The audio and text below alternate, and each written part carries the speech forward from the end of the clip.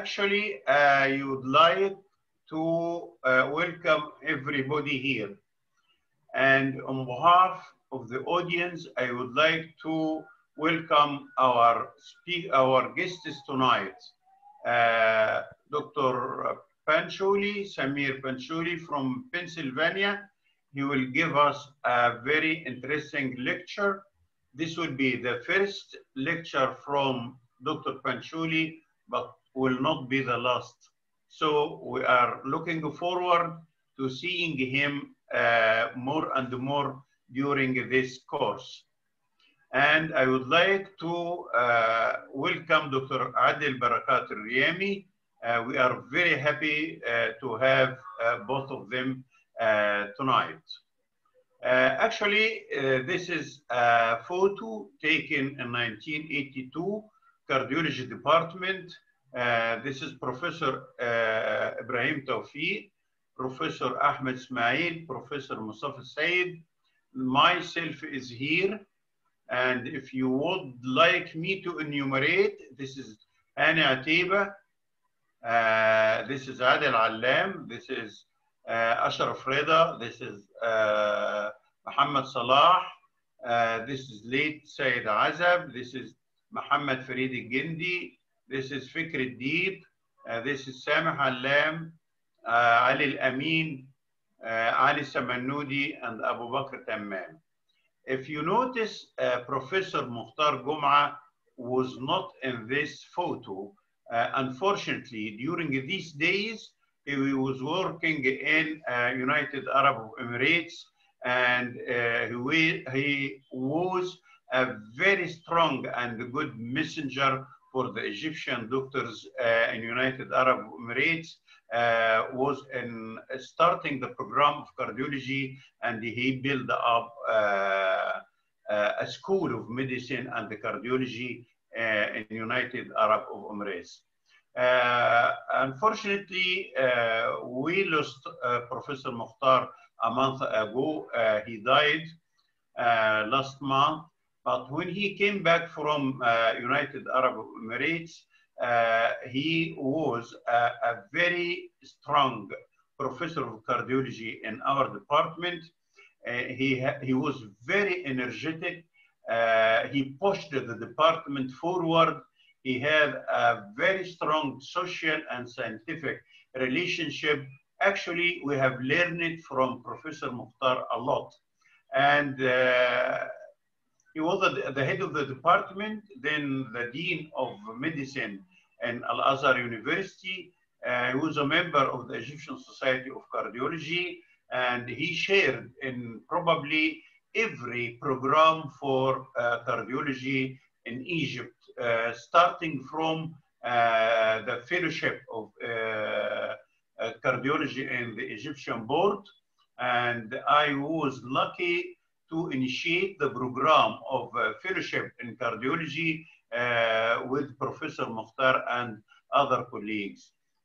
we lost him, but we never, we will never lose the, his advice and his uh, behavior with us and uh, we have to pray for him.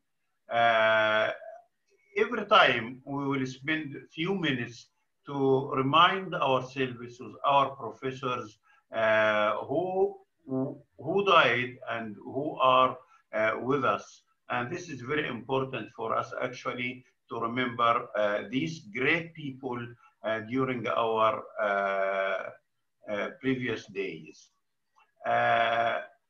tonight, uh, the course of uh, the radial course we are running now uh, is going around this magic machine in the magic room and the program of the radial Al-Azhar radial course we are uh, initiating today.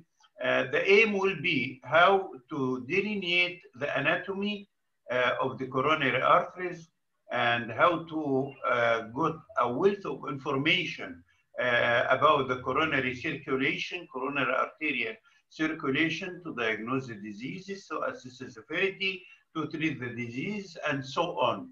This is our program, but as we mentioned before, during in, inside this room, you can do a lot regarding the valve, retarding electrical activity of the heart, uh, structural heart disease, diagnosis and treat, congenital heart disease diagnosis and treatment, electrical uh, diagnosis and treatment. But because we are interested in this course in coronary angiography and PCI, so a wealth of information we can get in, about the coronary circulation uh, in this room. Uh, actually, when I remember my uh, first days, we uh, were starting with arteriotomy. Then uh, days comes and technology improved, and we got Judkins percutaneous approach uh, to puncture the femoral artery percutaneously, and it was proved to be safe. Now uh, we have moved to the arm, and from the radial artery to the ulnar artery to the distal artery in the snuff box, uh, right or left hand, right or left arm, leg or arm, uh, it differs. And uh, one size does not fit all. So we cannot perform all cases from the radial and we cannot perform all cases from femoral. Each one and each axis has its own indication in certain situations according to uh, the patient's uh, condition.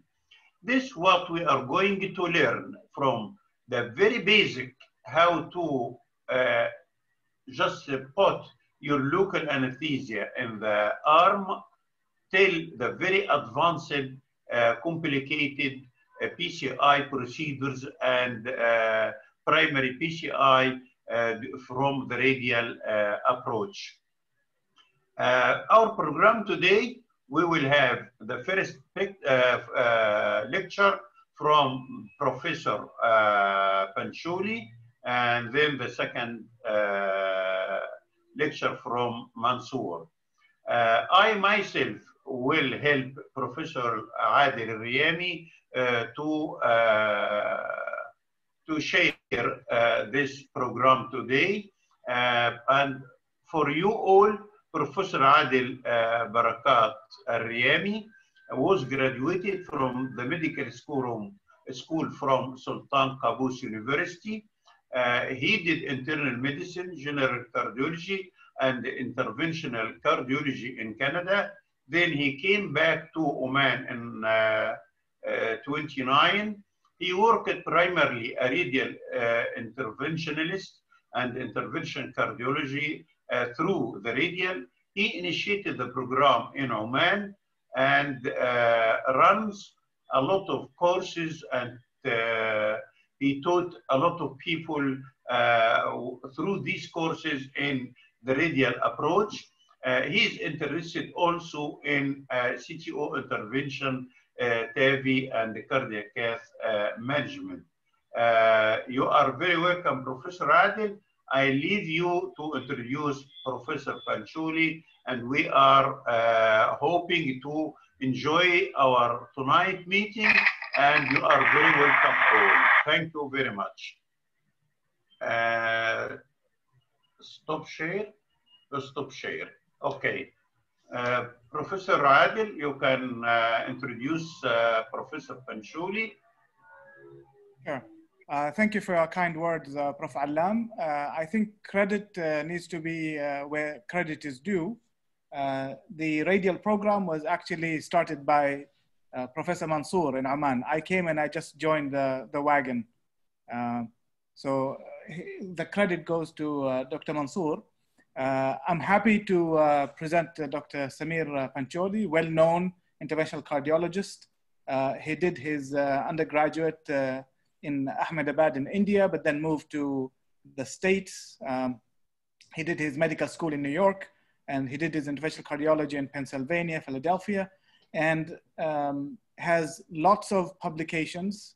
Um, many of them are uh, very um, in the very heart of what we're discussing today. And I, I just noticed in the uh, CV that his latest uh, his latest paper is the comparison of door to balloon time for primary PCI. I would like to hear more about that. Uh, I know it's been accepted. He has lots of publications. He runs uh, radial courses. Uh, I, I, actually just uh, I, I, opened YouTube. I wrote your name, uh, Professor uh, Pancholi, and I saw the the TRICO, but uh, Transradial Interventional Program multiple times. so I think he's the right person with Prof. Mansour to guide us through this new technology that has become mainstay now. Prof. Pancholi, please you'll need to unmute. Thank you. Yeah. Uh, are you able to hear me clearly on your end? Yeah, it's very clear. Yes. Okay, good. So let me share my screen. So, you know, um, I'm excited that we have a transradial program, uh, you know, that is uh, going to have multiple sessions. And uh, I'm so excited that the radial adoption, um, just one second. Okay. Uh, let me share my screen. So I was asked this afternoon, this evening, to uh, uh, present a case of a complication of transradial access. Uh, I've actually shown this at previous uh, programs, although this is a different case.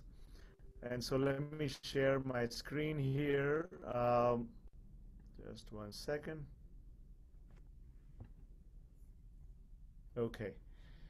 Uh,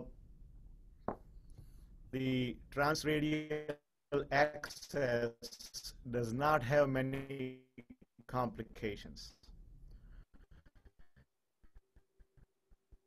which is one of the big reasons why uh, transradial access is uh, becoming more and more popular worldwide. So I'm going to show you one where one should worry about a radial access related complication. My very few disclosures. Um, so let's talk about a patient here, 56 year old female with a NSTEMI uh, with a troponin T of 250 diabetes came in with chest pain uh, and found to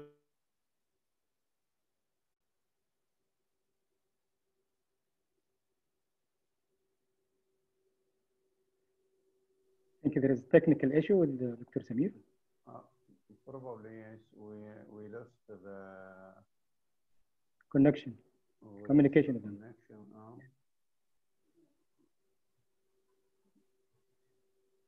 Okay. How about, okay. Are you able to see the screen and hear me again? Yeah, it's clear. Okay, very sorry about that uh, internet, you know, related interruption there. So this patient with an and uh, just one second. Okay. Uh, we, we took a five French right radial access using the anterior puncture technique. Uh, first stick by our fellow uh, gave the usual vasodilator and anticoagulation cocktail. In our lab, we use verapamil 2.5 milligrams, uh, nitroglycerin 200 micrograms, and uh, 50 units per kilogram of heparin. So that's what was administered. Uh, Heparin is usually given intravenously, and the rest of the vasodilators are given intraarterially.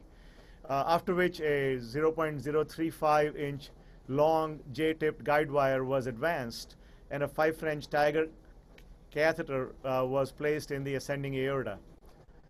Uh, the patient had a very transient bout of pain while we were advancing the guide wire. Very short, one second of an ouch, and then it resolved and uh, there was no further pain. The remainder of the procedure was uneventful. We did an ad hoc left circumflex uh, drug-eluting stent implantation. Uh, the total procedure time from door to door was 45 minutes. Uh, a TR band was put on the puncture site and the patient was doing very well.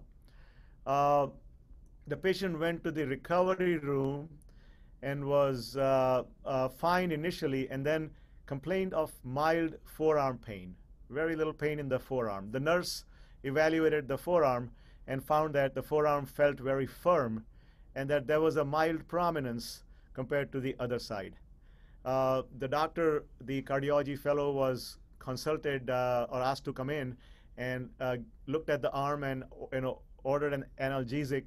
The nurse had already tightened up the TR band with more air, uh, but then the, the patient's pain continued. The, the arm was now unequivocally more swollen than what it was half an hour ago. The fellow again was asked to see the patient and uh, forearm pain. So let's talk a little bit about forearm pain after cardiac catheterization from transradial access. Forearm pain is one of the few uh, occurrences after radial access which should be taken very, very seriously. It almost never occurs without a underlying problem which could turn into a major complication. So the first thing to do when you have forearm pain, if you're in the procedure, is stop the procedure and evaluate the reason for forearm pain. Uh, and again, if you are doing the procedure and the pain occurs, then the first thing to do is to do a low pressure radial artery angiogram under fluoroscopy. You do not need to use cine angiography, so you save some radiation, and use a 50 50 contrast mix and do a low pressure angiogram, and that'll be immediately able to delineate the etiology. Obviously, in this patient, this was not available because the patient was already in the recovery room. But this video that you're seeing right now is from a different patient where, again, the patient experienced forearm pain after advancement of the guide wire. The guide wire was quickly removed by the operator, and then they did an angiogram appropriately and found, as you can see, right at the uh, proximal radial artery, there is contrast uh, extravasation. The radial architecture is still fairly preserved, but there's dye leaking out of the radial. And this is the most common mechanism of radial artery perforation, uh, which is one of the most common reason for forearm hematomas. So uh, the reason we get this problem is because we have to use a J-tipped guide wire to prevent uh, inadvertent you know, uh, entry into the side branches. And when we advance this 3 millimeter tip J-tipped guide wire in a less than 3 millimeter lumen, the guide wire tip has a habit of engaging or entering very small muscular branches. And sometimes if they are geometrically aligned, they get favored and the wire goes into these branches. So I have drawn a little cartoon here to kind of show you what happens. The red tubular structure is the radial artery, and as you can see, the small muscular branches usually arising at an obtuse angle from the vessel. And when the wire, which is 3 millimeter J, and the artery is 2 millimeters diameter, the wire is straightened out, and the tip basically engages one of the muscular branches, pokes it like a needle, and then sometimes it prolapses and you advance it further and you don't even realize that you did this. And you go forward with the wire and you put a catheter and this probably happens more frequently than we realize. But majority of the time there is no extravasation but in this instance obviously there was some extravasation. Uh, even extravasations are frequently contained and we do the case and we uh, spontaneously get a sealing off of this uh, perforation and we don't realize it. But you know obviously if it progresses we get a forearm hematoma with forearm pain because blood is a very um, inflammatory type of a material for this for the extravascular space and so you get pain there so so again the mechanism is this j-tipped wire engaging the the muscular branch and subsequently causing bleeding there which can do that so so as we saw in the previous angiogram, and I'll you know play this again. That's what happened in, in this area. The wire came and poked one of the side branches, and it started to leak. Now, if this happens during the case, then we, we can easily go ahead and uh, uh, if the lumen is accessible and your guide wire is across that segment, the best treatment for this problem is to advance a catheter and leave it there for a dwell time of 20 minutes or so uh, and allow that area to not have any active blood flow, which will majority of the time seal off the extravasation and you will get complete uh, sealing of the perforation, which will then be taken care of. So that's what was done in that previous case that we're seeing here, the guy across. And if you notice up there, that's where the perforation was. There is a little bit of spasm in the lumen, but the perforation, uh, radial artery is open and patent there.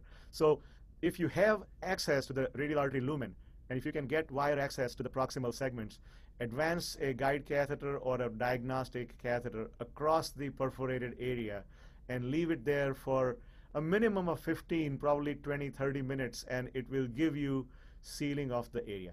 Now, you can continue to do your intervention. You do not have to reverse anticoagulation in order to achieve this type of a sealing of the perforation. And so what we do in our lab is if we have a side branch perforation like this,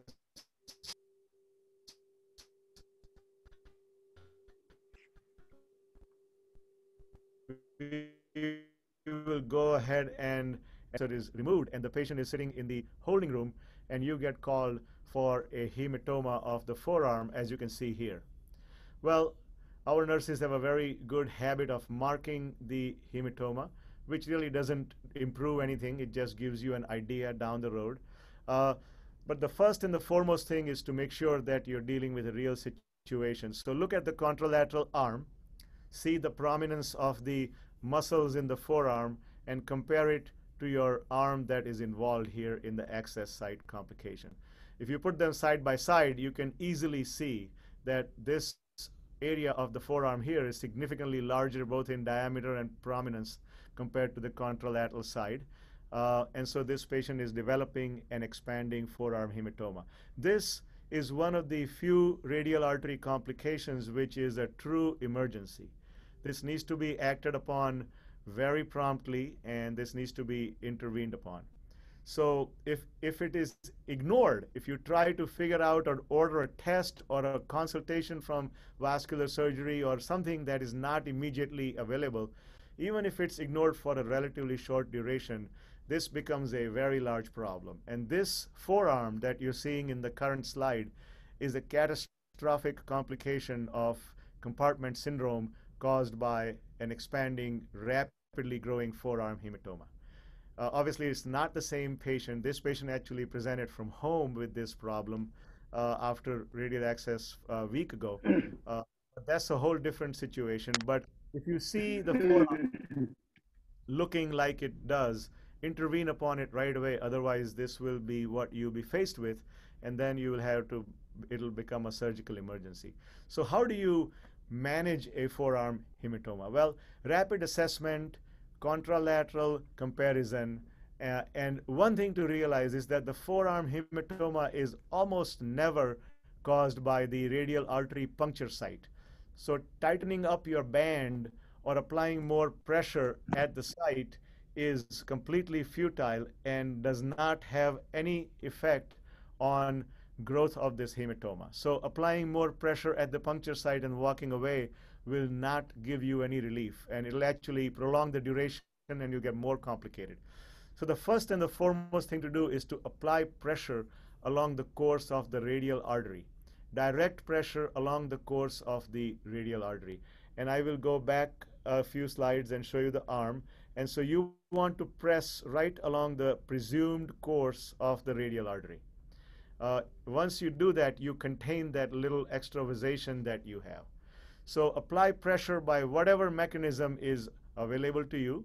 You can use a elasto, you know, elastoplast bandage with uh, gauze underneath it, which is what this operator did uh, in, in, in here. And, uh, or you can apply direct pressure.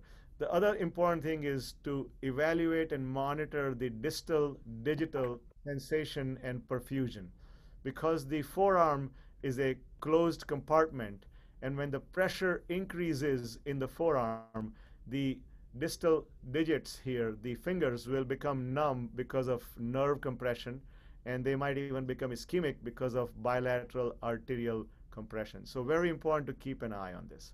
What we do in our lab, because we don't want to compress the entire forearm because of the risk of ischemia and nerve uh, compression, we apply focused pressure along the radial, uh, you know, artery itself by using this cylindrical tubular, uh, you know, barrel of a 10 cc syringe along with a band here that you see. So we put this uh, zip tie type band on the 10 cc syringe barrel at the presumed site of the perforation. Continue to obviously compress the radial artery puncture so that there's no bleeding going on. Uh, and this leads to sealing uh, for, and then you can monitor the distal perfusion by your plethysmographic sensor and assess the uh, sensation in the fingertips to make sure you're not causing nerve damage and a lot of ischemia while doing this. Uh, one of the problems, if this is unattended, is the occurrence of the compartment syndrome. And the reason being the forearm interosseous compartment is a closed space. It does not have a lot of uh, wiggle room in there. So when you start to get expansion of the volume of the contents on this compartment, you will rapidly see an increase in the pressure, and the pressure is transmitted in the vital structures there, which is the median nerve and the ulnar nerve. And if those two get contract, uh, the, if those two get mechanically pressurized, you will get permanent nerve damage with Volkmann's contracture, etc., which is a very difficult uh, long-term consequence with loss of functionality of the upper extremity. It should never reach to that point. So if you're not able to contain this hematoma by pressure, then you obviously have to ask the help of your vascular surgical colleagues who will then have to do a fasciotomy which uh, looks very grotesque and very uh, difficult uh, to justify to the patient and the family uh, down the road because the whole reason to do the radial access was to prevent a vascular complication. Uh, the blood in the intercost the, the blood in the interosseous space is very inflammatory. So the skeletal muscle be, uh, bellies become very, very inflamed by the exposure to the blood contents. And that is why even after removal of the hematoma, you should the vascular surgeon will not completely close up the forearm. They will leave it open sometimes for a few days to allow these muscular bellies to reacquire their original shape so that the, the volume goes down.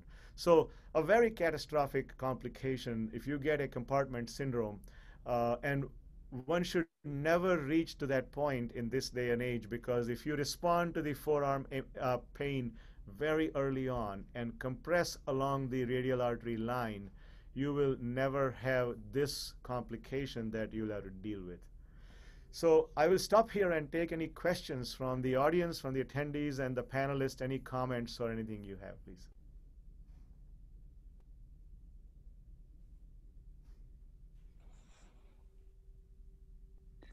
Uh, actually, and what we understand now is uh, re, uh, hematomas is not related to the puncture site, but it is usually perforation from mal manipulation of the wire. So uh, would you advise uh, to get angiography of the radial artery once we find any resistance uh, in the passage of uh, the guide wire? Absolutely. So that's a very, very important point for not just the beginners, but for anybody.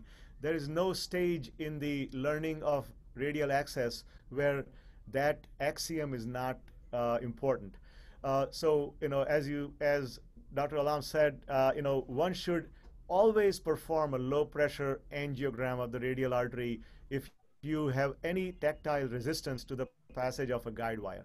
Switching to a better guide wire, a hydrophilic wire, or a, a 14 thousandths wire is not a good option. The first thing should be delineate the mechanism of resistance, and that way you can choose the right tool to get through that resistance without causing any damage. We, we have a question here. Um, in case of perforation, how long should we compress along the radial artery to prevent a hematoma? So that's a very important question. And you know, when we started initially experiencing these type of complications, our logic-based decision making was making us do compression for five minutes or maybe 10 minutes because we thought if the activated clotting time is 300 seconds, then the blood should clot if we double that. And so, you know, we used to press for 10 minutes or so, and we never really got proper hemostasis. Uh, well, we continued the compression and learned that if we prolonged, if we have a more prolonged compression time, then we get you know much better chances of success. So I would advise a minimum of 20 minutes of compression if you get a forearm pain with perforation, or especially if you get a hematoma. If you get a, a hematoma outside the cath lab, then you should compress for longer, maybe an hour or two hours, because the what? compression uh, pressure is not transmitted very well because of the hematoma itself. So very, very important to do prolonged compression. And if you're pressing along the radial artery, you will not get uh, any complication because of the pressure. Uh, we understand, uh, Professor Pancholi, that expanding hematoma will compress both the radial and the ulnar arteries, and the arm uh, will undergo ischemia and we may lose the arm. That's why we have to uh, solve the problem as quickly as possible. Uh, I have a question here uh, from one of the audience. In case of, of expanding forearm hematoma with compartment syndrome after sheath removal, is it feasible to recannulate the radial artery to see what is happening and sealing the perforation? Absolutely. I think, you know, if you have radial hemostasis already and you can repuncture the radial artery, uh, then that, because, you know, having the lumen access with the guide wire and placing a catheter in a perforated segment uh, with internal tamponade is one of the best ways to achieve hemostasis. So I don't think that's such a bad idea. Now, one can you know easily argue and say, well, you've already created a second problem because you are puncturing the uh, you know radial artery again. So if you can manage with extrinsic compression without causing digital ischemia or or nerve sensation, you know uh, uh, problems or you know those type of issues, then I would manage them outside the lab. But if you have any difficulty, and you are able to recannulate the radial artery, I would go back and uh, try to go distal, puncture it, get up again, and see what's going on, and then deal with it. Uh, but I think uh, if you repuncture the radial artery, you have to be very cautious this way because uh, if the wire goes to the perforation again uh, or perforates another vessel or another muscular branch of the radial artery, uh, this will cause another set of problems. So uh, uh, we have to be very cautious in manipulating this area again. no, I, I think you know that's a very important point. Is that going back in should be used as the final option where you don't have good hemostasis by external compression and you're trying to figure out what the mechanism of your failure of management is. Okay, thank you. Dr. Adil? Um, there is a question uh, here about using Doppler, but I'll actually be more basic than that. Um, in your lab, do you do Allen test at all? So we do not do Allen's test to decide if we should go radial or not, but uh, we do a reverse Barbeau test before the procedure because we monitor the, the patient's radial artery flow after the procedure to make sure we don't get occlusion.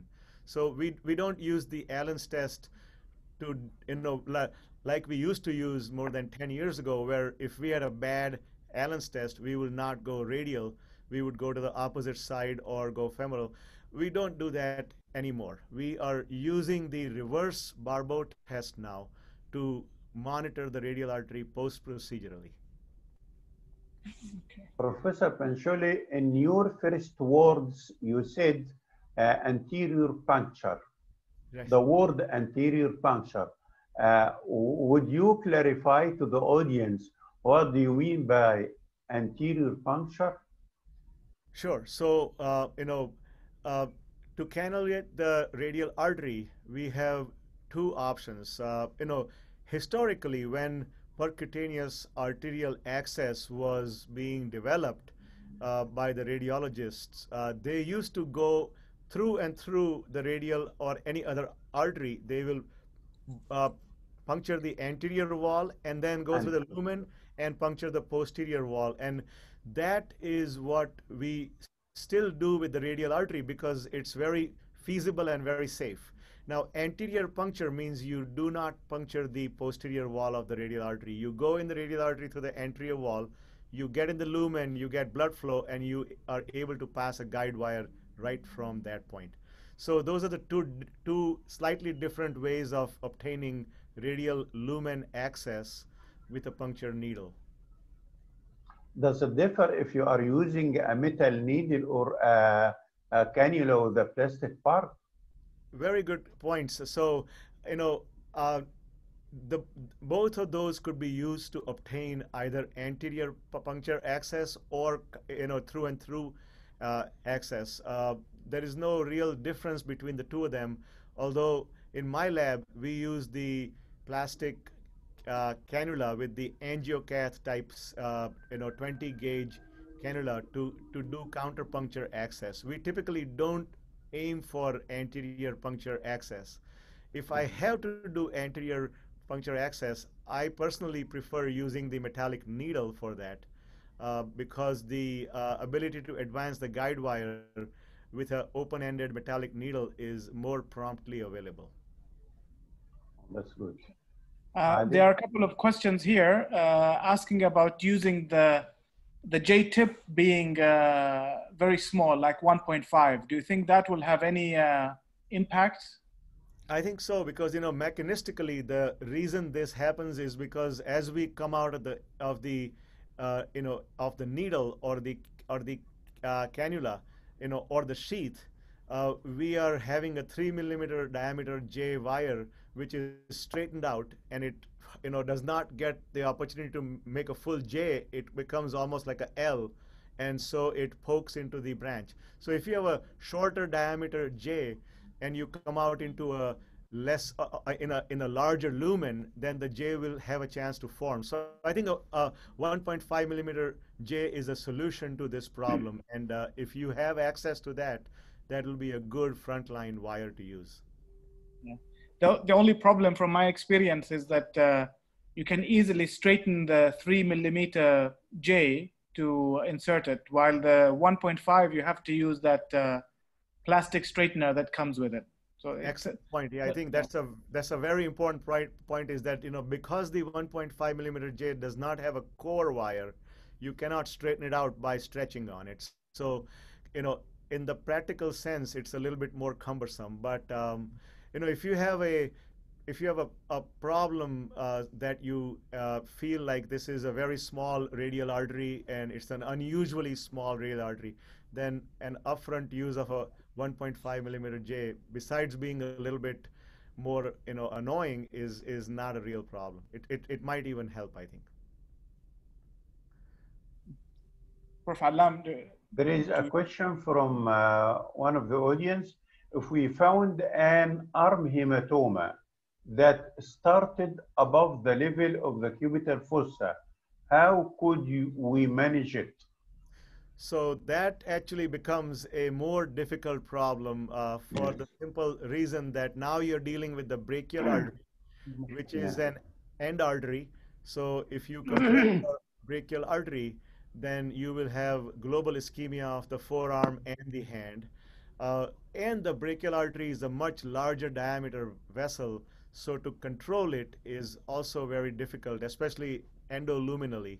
So I think you know if you have an upper arm hematoma, that should be a multidisciplinary type of an approach you know immediately where you probably have a perforation the most common reason for an a hematoma above the uh, elbow is you are going up through a high bifurcation radial artery without realizing, and you used very, uh, you know, uh, harsh force, and you have basically avulsed the high takeoff radial artery from the brachial artery. I have seen one or two cases of it uh, from my colleagues. Uh, fortunately, I still follow every single step that I was taught 15, 17 years ago, and uh, we haven't run into that problem ourselves. But I've, I've seen cases where people have sheared off the high takeoff radial artery with a big upper arm hematoma. That's a big problem. That should be attended by a surgeon uh, with you and or somebody who is very good at doing peripheral intervention. So, do you agree with the classification of the hematomas, forearm hematomas, according to the size uh, from grade 1 to 4 and grade 3, grade 3, which is just below the elbow, or grade 4, which is just above the elbow? This means uh, an emergency surgical uh, situation. You have to call the surgeon for it.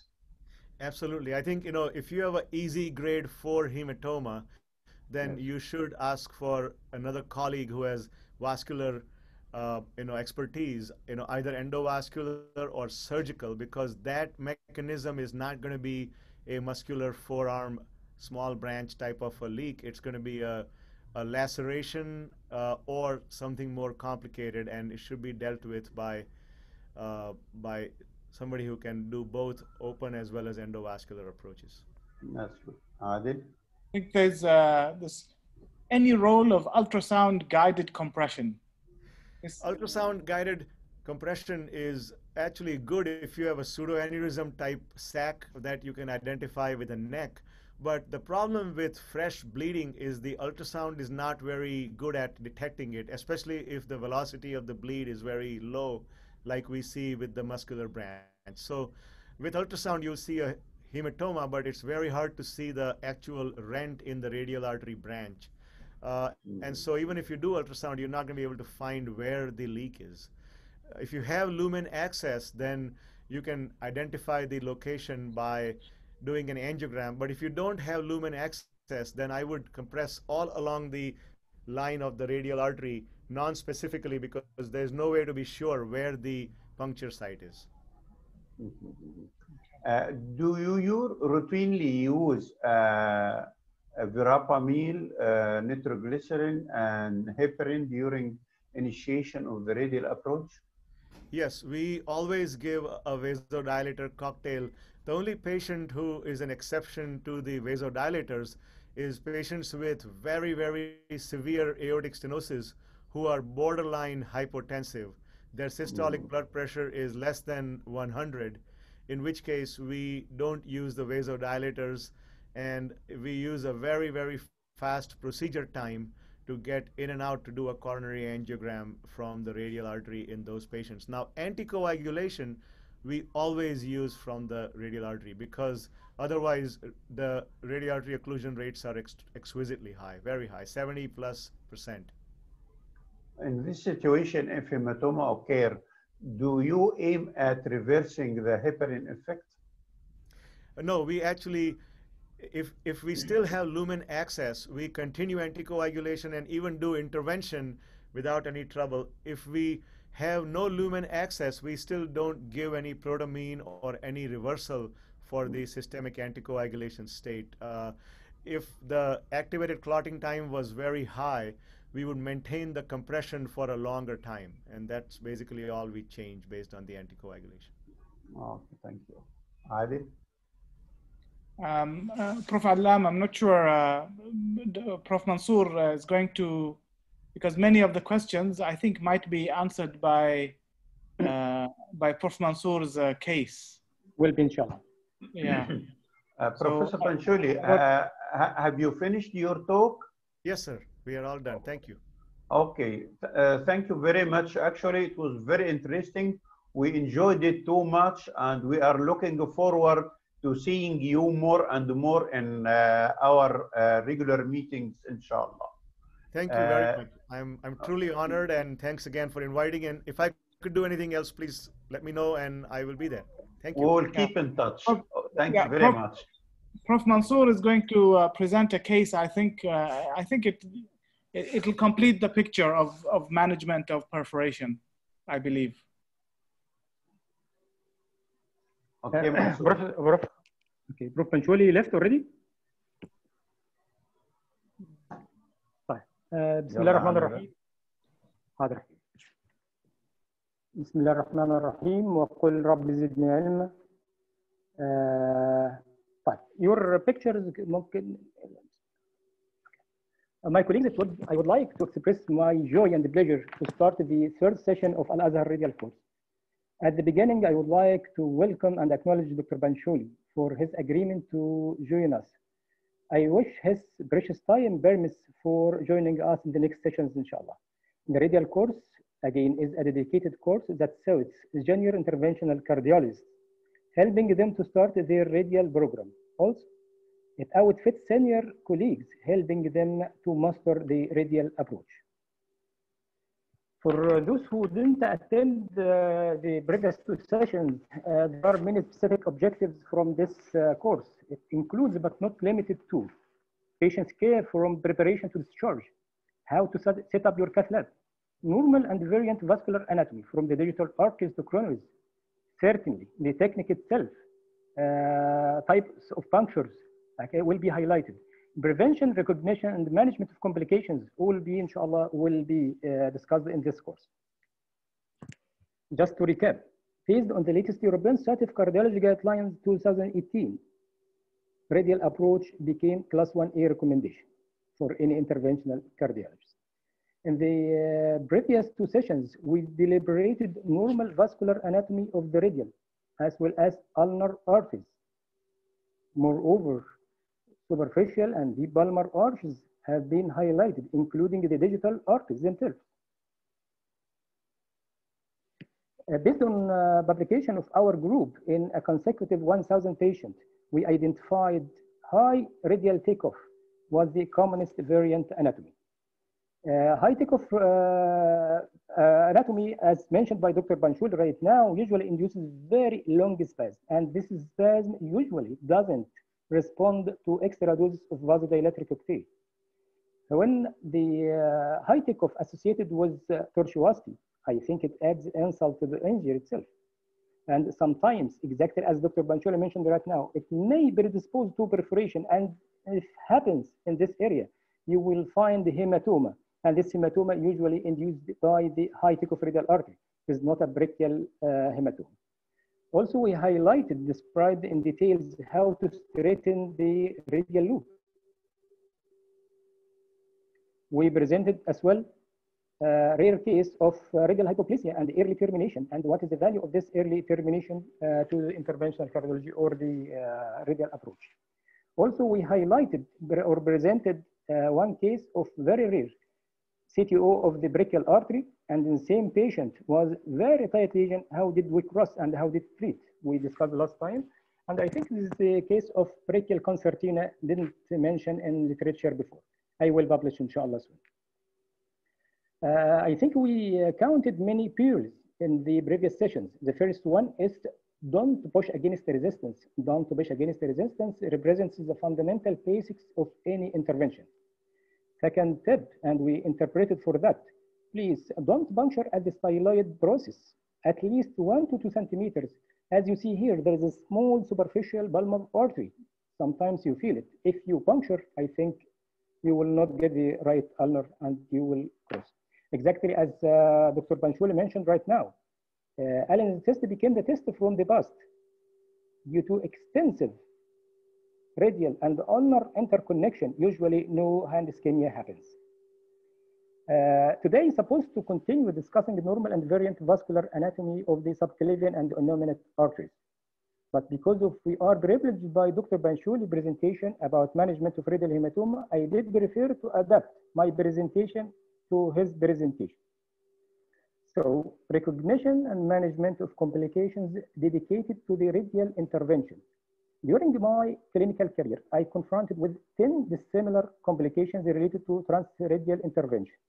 Inshallah, will be discussed in details in the uh, complication course or complication sessions, inshallah. Dr. Pancholi highlighted nicely right now the hematoma and how to handle. This is the commonest complication of transradial intervention. And right now, I will jump to the most serious complication of the transradial intervention, which is radial perforation. Uh, but before, I would like to highlight the uh, management of radial artery perforation before 2011 and after 2011. The first was first or reported in the literature, external compression by cuff, as Dr. Pancholi mentioned right now. Sometimes we may be urged to reverse heparin by protamine sulfate. If failed, placement of the catheter across the radial artery perforation acts as a hemostatic device that seals the perforation. And there were few literature or few publications about rule of balloon tamponading in radial artery perforation. This what was all written in the literature. It failed, uh, surgical fasciotomy was the last resort. So I would like to present my case right now. I will present four cases. The first and second cases created as per available literature review. Uh, third case, the available instruments failed to seal radial artery perforation, so a novel device applied, the perforation sealed. Already I published this, we published, and many of our colleagues published similar outcome later on based on this publication. The fourth case I will discuss right now, but I will discuss cautiously and I will interpret for that. Okay, let me start the first case. First case was uh, Mr. Harry, 6'9", Canadian guy, hypertensive, not diabetic, presented with high risk criteria of acute syndrome, non-segment elevation, myocardial infarction. Angiography plus or minus, and uh, our default approach uh, was uh, right radial approach. So we identified high risk or high grade uh, OM lesion with tight mid-segment myocardial bridge, RCA was free of significant disease. Tight mid-segment myocardial bridge, and this almost uh, subtotal occlusion of the OM branch. So, uh, while we are preparing for PCI to OM, the patient complained of forearm pain, and we noticed the swelling of the forearm. And angiography proved evidence of ugly perforation, as you see. Okay, it's ill-defined uh, in actual fact. Immediately crossed by BC, BCA wire. And over this wire, we advanced guide catheter, PCI to OM dye. We hope that this uh, guide catheter will act as a hemostatic device, and it did. Fortunately, the perforation completely sealed. The patient did very well. Duplex scan proved evidence of no active bleeding with minimal interstitial hematoma. The patient discharged well and no evidence of hand skin. So how did we treat Mr. Harry, radial artery perforation? Remember, radial artery perforation was after diagnostic angio. Despite that, we continued for the PCI. We crossed the radial artery perforation by a PCA wire, and we completed the PCI. The great in the perforation. Unfractionated heparin, not neutralized, already we sealed and reconstructed the vessel. Uh, final angiogram must be followed by close observation of at least four hours for re-bleed. Duplex scan, I think, adds information about the arm hematoma or extravasation. Second case, uh, Ms. Fatma, 61, Omani lady, short, uh, morbidly obese patient. Uh, not hypertensive or diabetic, referred from a secondary hospital with acute syndrome and stable angina. In actual fact, her ECG was uh, very يعني suggestive of either severe ischemic heart disease, deep symmetric asymmetric T-wave inversion. In differential diagnosis, I asked my uh, registrar during that time, uh, what is differential diagnosis? So she told me it may be ischemic heart disease. I do agree about that. Maybe HOCM, yes, maybe. Maybe intracranial hemorrhage, subarachnoid hemorrhage, it may be, but the patient uh, clinical uh, picture doesn't fit for the uh, subarachnoid hemorrhage.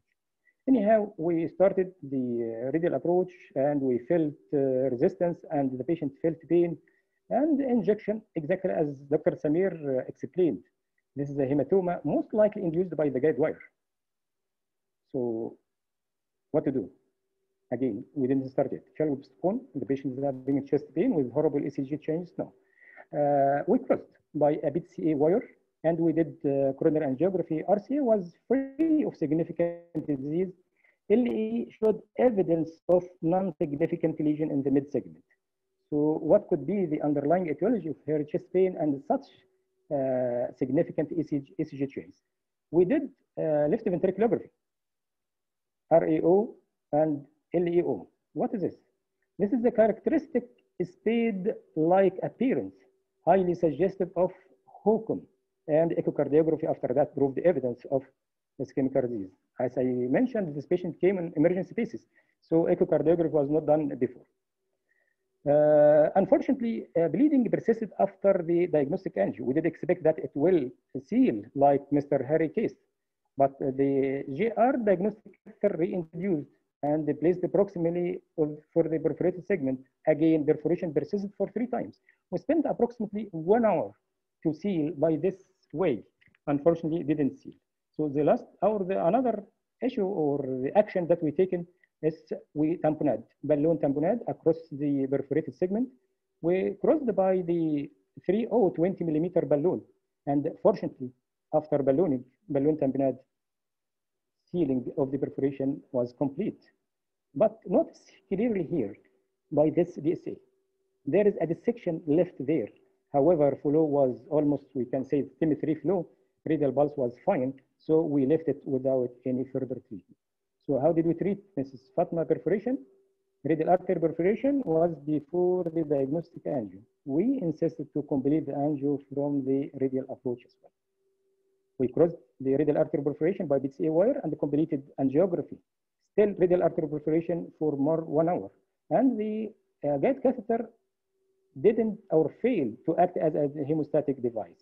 Balloon tamponade was fine and it sealed the perforation and the remaining non-flow limiting dissection is not an issue at all. So this was written in the literature. I would like to present this case as well. Uh, Mrs. Jocha, 64, uh, short, obese lady. Uh, non-invasive investigations proved the evidence of ischemic heart disease. So straightforward for PCI. right radial approach as well. Notice there is a tight proximal mid-segment lesion and one immediately after this large diagonal branch. RCA was free of significant disease. Uh, two uh, drug-eluting stents deployed with, I think, satisfactory final result. Before removing this catheter, the guide catheter, or immediately after removing, the patient felt agonizing pain in the forearm. And we noticed, I noticed by myself, progressively increasing swelling. It was uh, like a balloon, you are inflating a balloon. So what is what is this? Is a severe, huge perforation. So what to do? Straight uh, way, we introduced the BCA wire. Uh, we spent three times. Unfortunately, the perforation didn't seal. So the second resort in our hand was the balloon tamponading. We did balloon tamponading, okay, three times failed. We, in this case, despite we gave uh, or we offered the patient a food drug-eluting stent, we neutralized heparin by protamine sulfate. But unfortunately, unfortunately, bleeding persists. So what to do next? So shall we ask for surgical fasciotomy as Dr. Samir mentioned right now or advised? Yes, we did. But unfortunately, our team was busy, was not immediately feasible. And to be frank with you, uh, that discontinuation and the stent thrombosis was a great issue. So as a team, we did agree to do a novel technique. What is this novel technique during that time? We deployed the first ever mentioned in literature uh, coronary covered stent that fortunately sealed the perforation completely and the patient did very well. Unfortunately, the patient developed this grade four uh, hematoma, which is uh, fortunately there is no evidence of uh, compartment syndrome as there was no pain, no pallor, no paresthesia, no paralysis or pulseless, five P's that you have to remember for any patient who develops hematoma. Uh, Doppler scan was actually very, very nice to us, very assuring of uh, no further interstitial hematoma and wide patency of the radial artery after uh, covered stent. Uh, next day, the patient is discharged and returned back four weeks the patient limb was absolutely healed during the time the patient was ambulant. I followed this patient or I, we published this patient in our center and radial artery perforation after coronary intervention. This was the first case to be published in literature followed by many publications from colleagues with similar uh, results or similar outcome. Because of its clinical value, the case granted one of the best uh, challenging cases awarded in the TCT 2010. And based on our cumulative experience in radial perforation, complicating transradial intervention, we propose our stepwise management. And I think many centers are taking this as a rule or the uh, standard for them. Uh, five years later, same patient came with recurrence of chest pain. And in this time, I used the ulnar approach.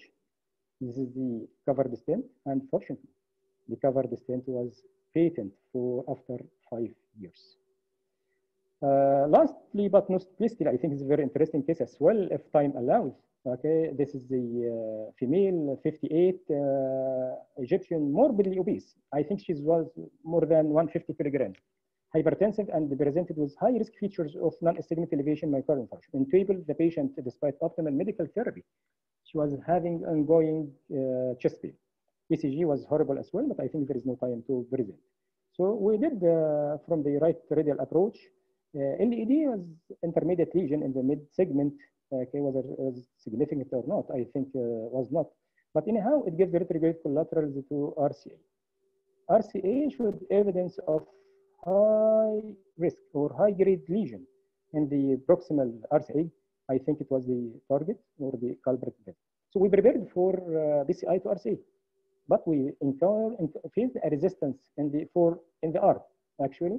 So selective injection from the uh, catheter, we identified very long, intense spasm, high radial takeoff with perforation. You see this perforation, the huge breast shadow hide the perforation. It will be seen.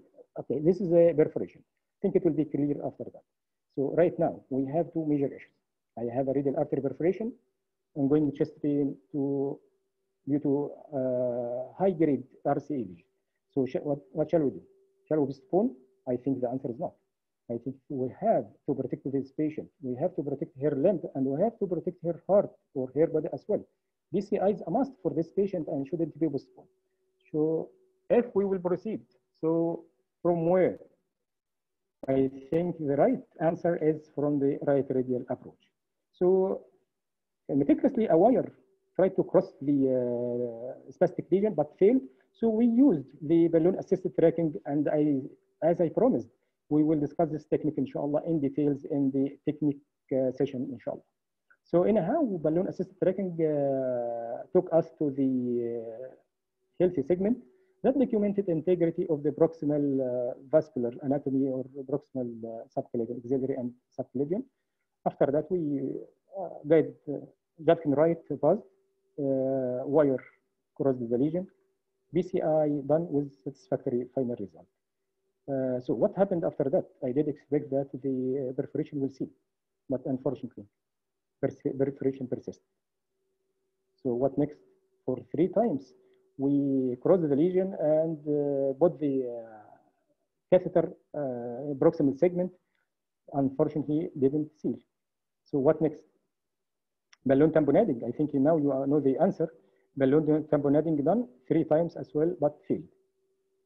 Okay, so this is a balloon tamponading. Okay, failed to seal perforation. So what next? Perforation persisted. Okay, after balloon tamponading three times. So I think the, the third step is cover the stent.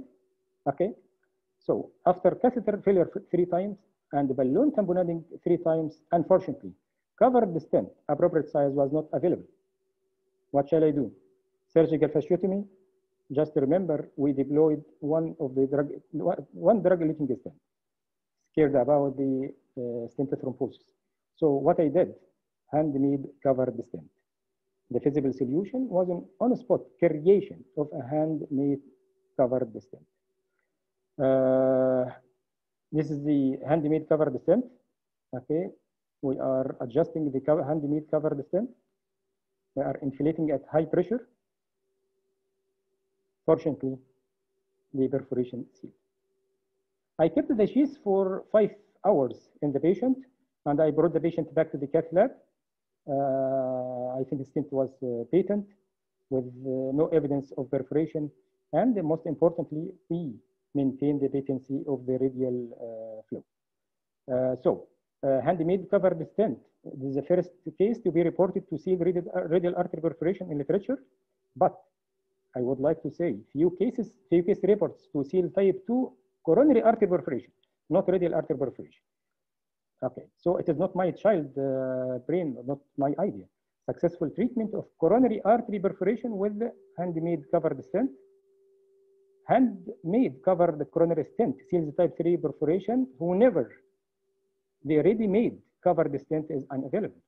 Also, this uh, handmade covered stent used in, in uh, pediatric use, also used in Japan, okay, to treat coarctation. What are the details? I think we can uh, discuss later.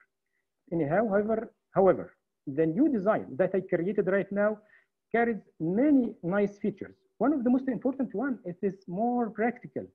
It is easy to do and easy to advance as compared to the bulky one that we have right now. Second issue is more suitable to seal coronary artery perforation rather than radial artery perforation because it will, inshallah, uh, keep the, uh, the, the sorry the uh, branch side branches open. So I think it is a new design keeps the side branches open as much as we can. And I do expect that if we will manufacture, it will be associated with this ISR. Uh, finally, also this is my, my this is my proposal, uh, proposed algorithm. It is not yet published to treat radial artery perforation. Once you feel or you document radial artery perforation, please, uh, you have to document it. Okay, so place the catheter inside or proximal to the perforation. If sealed, please observe the hand. You can do duplex scan to, uh, to ensure the patency of the radial artery and no more hematoma. If this catheter failed to seal the perforation, so we can use balloon tamponading. If sealed, well and good, observe or observe the radial artery perforation. If failed, I think the last resort we have right now is the covered stent and observe. I think because of the time, I have many slides as well, but I think we can stop here. Uh, we can continue uh, just to save time. This is the approach and this is the mechanism. Uh, catheter itself will act as a hemostatic device, balloon tamponading, cover the stent. Thank you so much. Uh, شكرا دكتور منصور و leave share screen please. Okay. Uh, it was very interesting منصور but لكن في uh, two uh, small uh, short questions. Uh, balloon tamponading. Have you lifted the screen? I am there. Hmm. Leave the screen. uh, Leave leave the screen, Mansoor. Okay.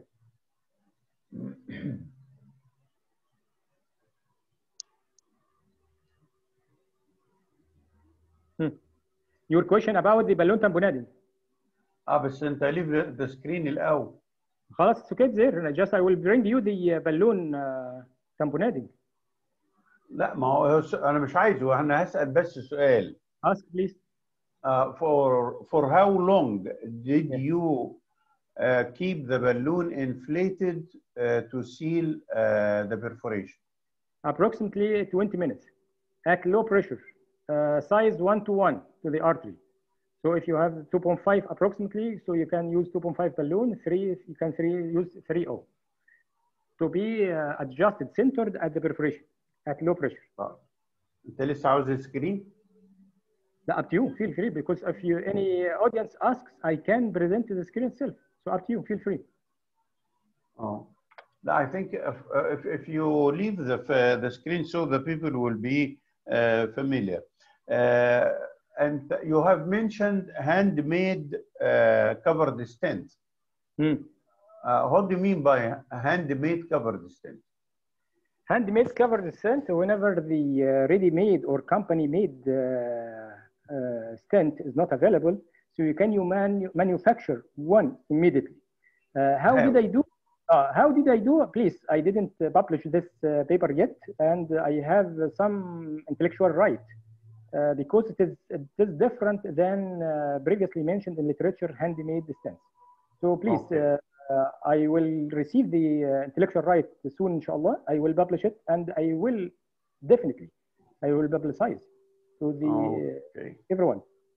that's good. But it was a very nice, it was very nice experience. It was very nice design okay and as i told you the main feature is i will keep side branches open and minimal isr inshallah will be expected as compared to the old one. And old one will be one of the past stents inshallah or stents from the past. Inshallah. Uh, dr uh, hatem khalif based sometimes uh, the diagnostic catheter cannot be advanced over the wire possibly due to a spasm what can i do? Okay, uh, I think the balloon assisted tracking that we uh, demonstrated right now acts in almost uh, almost all patients. It didn't feel once with me in the presence of spasm, in the presence of tortuosity. And uh, last session, if you remember, I used it in uh, uh, loop, radial loop.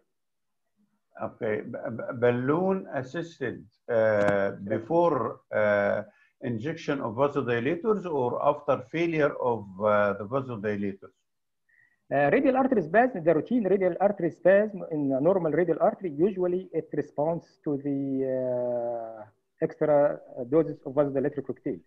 But Okay. from my experience, the high of radial artery, when it gets in spasm, usually it resists uh, the extra doses of vasodilator cocktail. So I think we can use the assist, balloon assist tracking from the beginning. I I understand now that start with uh, vasodilator failed balloon assisted. Uh, am I right? 100% right. You are almost always Okay. right, uh, my prof. Okay. Dr. Adi. Uh, I think uh, I've, I've learned a lot, uh, Mansoor. Uh, يعني your first case showed the perforation. يعني it was very diffuse and not very clear where the perforation is. And that answers one of the questions that was asked today. Uh, can you use ultrasound to uh, do compression uh, of the perforation? And you clearly showed in the first case, it was very diffuse. The ultrasound is not gonna be helpful. Uh, for your second case, your uh, dissection, and you rightly said it is, uh, and it, it, has no consequences. And the reason is for our junior staff is your dissection is actually retrograde. So the flow in the, uh, you're, you're going retrograde and your dissection is going to be retrograde. Your flow is going to be antegrade and therefore it will seal the perforation anyway. Right, Um, 100%. Yes, and plus you've showed us in the uh, previous uh, lectures that even if the perforation causes uh, occlusion of the vessel, of course you do not want that. You have enough collateral uh, circulation that you are not worried about hand ischemia. Um, in your third case, there was a question about somebody was asking about neutralizing heparin, and you clearly showed that you could easily neutralize heparin if the patient has already been treated with uh, dual antiplatelet prior to uh, PCI. Uh, and I think the risk, there is a small study showing that there was no excess stent thrombosis when the heparin was neutralized immediately post uh, PCI as a protocol. Right. Okay. طبعا we don't use it, but uh, if you have to use it because of a perforation, I think it is an option. Yes. And uh, you, of course, you showed nicely the covered stent. Um, one, one question I have is uh, when you do the balloon tamponade, you're putting pressure on from the inside. Do you put pressure from the outside? So you do balloon tamponading and then you, for example, wrap something around or the blood pressure cuff from the outside? No, I think it is enough to uh, recanalize the vessel from inside, endoluminal, uh, because uh, we don't expect how much pressure will reach to this uh, perforated segment. But from our experience, uh, this is more than enough, or mo- enough in vast majority of situations. Vast majority of situation will uh, seal, perforation seals by just placing the catheter inside. And also, a failed tamponading, usually it is enough by itself. No need at all to pressurize from outside. No, no, I, I, I understand that. Most cases will, but uh, Yeah. the ones you showed us did not. Yani case number Yeah. two and three did not. Yeah. So Yes. would you add external compression after the first tamponade fails? The no, no, balloon no, no, no, no. Usually, I don't need it at all. Usually, I don't do. Usually, endovascular uh, reconstruction. I think this is a way to reconstruct. External compression, I think, may result in uh, radial artery occlusion, but exactly as you said, without balloon. You know, without if there is a balloon, we don't expect. I didn't try this to do both compression from outside and inside. I didn't do, uh, but I think in vast majority of situations, it is usually it seals. Prof. Allam. Uh, دكتور عبد العال آه، بيسأل وأظن ال- الإجابة اتعملت آه، ال- السؤال بتاعك اتجاوب عليه آه، دكتور محمود آه، أبو سيرة بيسأل هل ال- الطرق management of radial perforation is applicable to uh, for ulnar uh, perforation as well? Yes, I think the same route. It is a same rule. Uh, Same. عبد المقصود, the last question from عبد المقصود. How to prevent or minimize the perforation during a catheter? I think it's very, very nice. And uh, as, I, as I promised, okay, everything will be discussed in the technical issue. But from the Mm. beginning, okay, I think uh, the nice option that we mentioned by Dr. Pancholi right now and the wire, the way to advance and the curve itself, I think we should uh, apply. Uh, one of the most important issue is please, please don't push against resistance. Don't push against resistance, fundamental basics of any intervention. I think uh, the third case that we uh, did, it, there was a resistance uh, during advancement of the gate catheter that uh, catheter can be advanced with a little resistance. I think this was the fault during that time. So the first issue is the wire, don't push against resistance, and we have to have very low threshold if you encounter any resistance to visualize the forearm angiography from the side port of the uh. And uh, let me add, let me add, ya Mansoor, uh, three main points uh, uh, everyone should take care of if he wants to go intravascular from any side, from any axis. First of all, don't push against the resistance. Second, don't push unless you see where you are. The hmm. tip of the guide wire should be observed from the insertion point till it reaches the target or the destination and the aortic root. The third advice, never pull a catheter without seeing the guide wire protruding from the tip of the catheter to ensure that the curve of the left Judkins or right Judkins is straightened by the guide wire. These three points are very, very essential points to avoid a lot of complications. Uh, do you agree, Ad? Yes, absolutely. Um, I, think one of the things that uh, you, you can be very experienced uh, and you do your intervention, but we forget that we are, we are assisted by nurses who change. And if you get a new nurse and you don't, uh, yani one of the first things I teach the, the nurses in the cath lab is that please, when you push, it's not like when you're pushing for femoral, you, the femoral is already six to eight millimeter wide. They push the wire quickly because they're used to uh, working quickly. And then they come to your lab and you are radial and they push the same way they push in the femoral. That cannot, that is not the way. Uh, I tell them you push very, you push slowly and softly because if you have any resistance, you need to tell me so that I can fluoro and see what is happening, why the, there's a resistance. And that is one of the main things you have to teach the junior nurses to, pre to prevent uh, complications. I have seen some operators are pushing without notching where they are. And they are waiting in the subclavian area up in the thorax to see the guide wire reaching there. This is a great mistake. You have to uh, monitor and you have to screen and you have to look at the tip of the, your guide wire moving through the vascular axis to be sure that you are in the right way, there is no kink, there is no sideways, and you are in the proper uh, position. Uh, I, we have uh, spent one and a half hour now. Uh, would you like to add anything, Adil, or uh, to finish at this point? No, I think uh, excellent cases. We saw this very horrible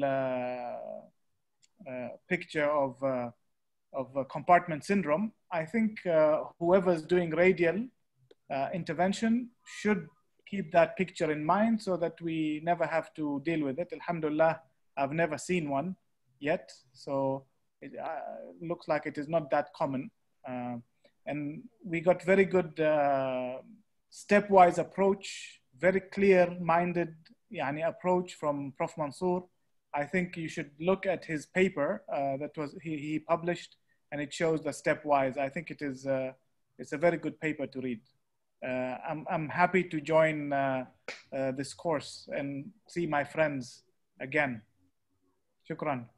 إحنا دكتور بانشوري هاز ليفت لكن أنا جنبي واحد بقى بيقول أنا كل ما أجي أقدم ناحية الراديال خطوة أشوف الكومبليكيشنز اللي منصور بيعرضها أرجع لورا خطوتين لكن بليز if you follow the rules if you follow the rules you can do everything safely uh, there are a lot of complications in the radial there are a lot of complications in the femoral the basics should be followed if you follow the basics of everything you will do your task safely nicely satisfactorily and you will feel happy uh, احنا سعداء جدا ان احنا شفناك النهارده يا دكتور عادل وإن شاء الله منتظرين الحالات بتاعتك اللي ما فيهاش كومبليكيشنز زي بتاعت منصور كده وسعداء بكل الزملاء اللي شاركونا الليلة دي وإن شاء الله نشوفكم الأسبوع الجاي